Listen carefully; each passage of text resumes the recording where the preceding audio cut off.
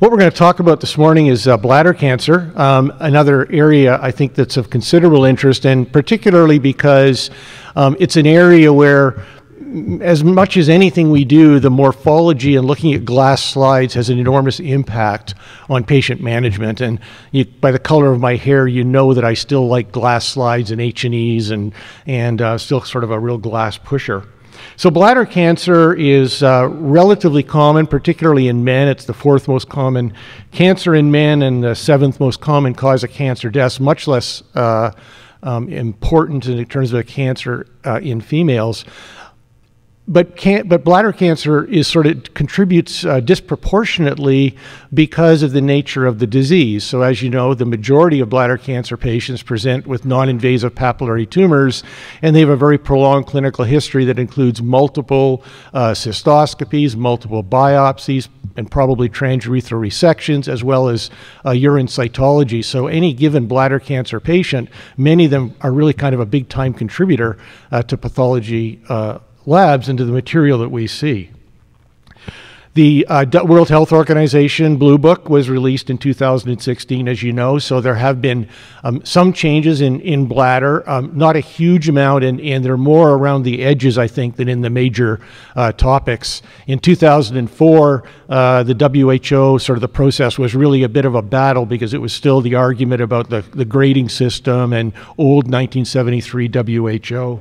Uh, this is the group that, that met in Zurich that developed the, uh, the new Blue Book um, that you uh, are aware of. And this is the actual bladder cancer. The, the, the team is divided into sort of subgroups. And this is the bladder cancer writing group. And Dr. Victor Reuter from Memorial chaired the bladder cancer um, writing group.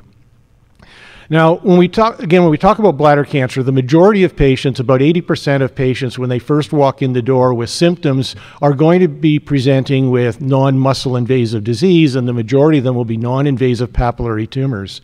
And we know that what happens to these patients over time is two things. One, they frequently will get additional tumors in the future, so they need to be followed for re, not really recurrences in the sense that it's the same tumor coming back, but the development of new tumors.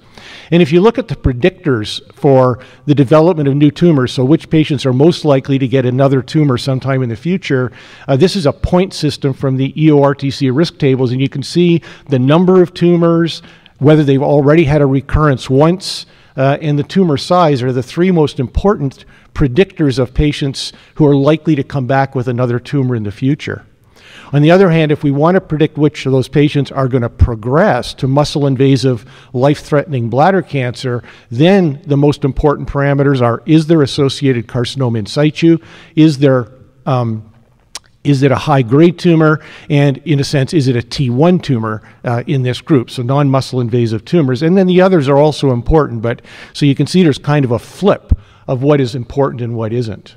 Now, the 2016 classification is exactly the same. There is nothing changed in 2016 from 2004, which is good because that's really the biggest part of it.